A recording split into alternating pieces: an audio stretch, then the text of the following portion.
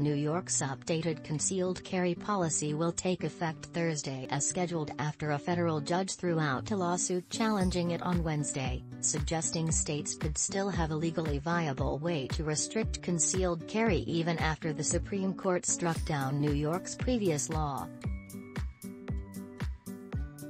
How New York's ongoing gun control debate will affect other states as however New York's policy fares in federal court will likely help shape other states' regulations.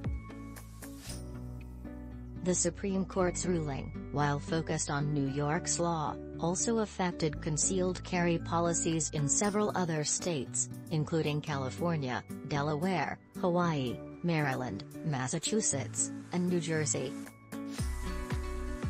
Those states have had to amend their concealed carry laws in the wake of the ruling, and Massachusetts and some local jurisdictions have introduced new policies to address the Supreme Court's rulings.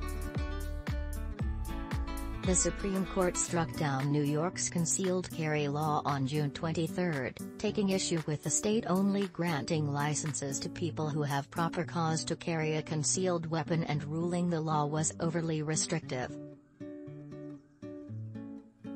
The justices ruled 6-3 that the law violated the 14th Amendment and was overly burdensome under the Second Amendment, as the court found its definition of the right to bear arms includes carrying handguns publicly for self-defense. Justices also believed that New York's categorization of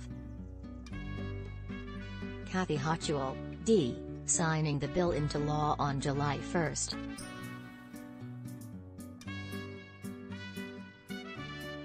The law addresses the court's concerns with a more specific listing of where concealed weapons are banned, like public transportation, bars, schools, churches and Times Square, and more specific requirements for obtaining a concealed carry license more than the more vague proper cause rule.